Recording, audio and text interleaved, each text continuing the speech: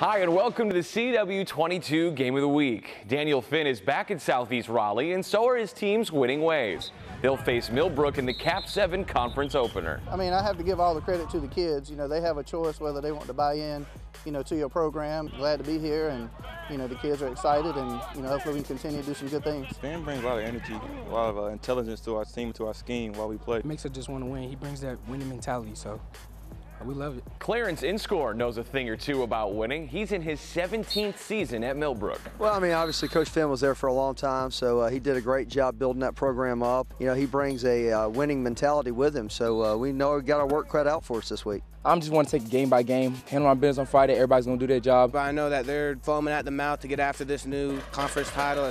We need to be ready to stop them. They seem like a really solid team. They got a good defensive front, and I'm pretty sure it's going to be a great game. And now it's time for the Bojangles Trivia Timeout.